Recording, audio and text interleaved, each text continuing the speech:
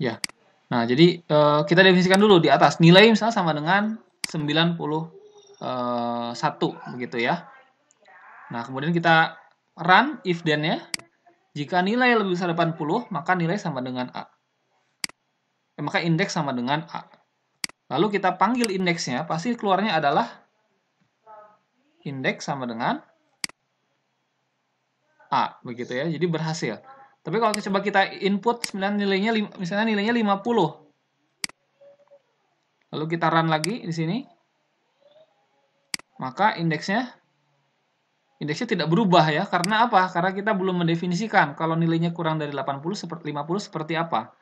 Nah, maka supaya lebih lengkap kita panggil namanya adalah else. Gitu ya.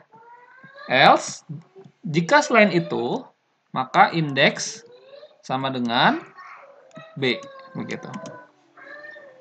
Kita coba lagi. Kita run nilainya kita isi nilai kita isi dengan 50 lalu kita panggil conditional kita ingin tahu indeksnya. Lalu kita kita jawab dengan sebuah logika di sini. Jika nilai lebih besar 80, maka indeksnya A. Jika jika selain itu, jika jika selain kondisi ini terpenuhi, maka indeks sama dengan B. Maka kita lihat nilainya, indeksnya akan keluar uh, B, begitu ya. Nah, uh, jadi sederhana itu.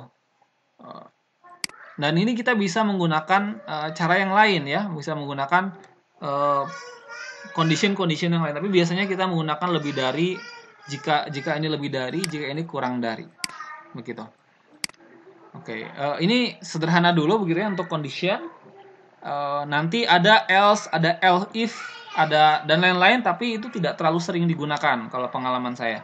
Jadi cukup dengan if else itu juga sebenarnya sudah banyak terbantu kita dalam proses perhitungan.